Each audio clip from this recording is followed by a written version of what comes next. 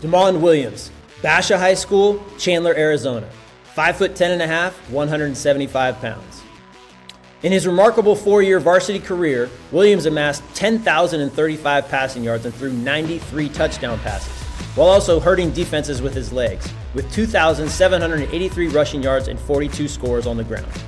He captained Basha to a state championship in 2022 as a junior, and then had his best season statistically as a senior, accounting for 54 total touchdowns, 34 through the air, and 20 on the ground.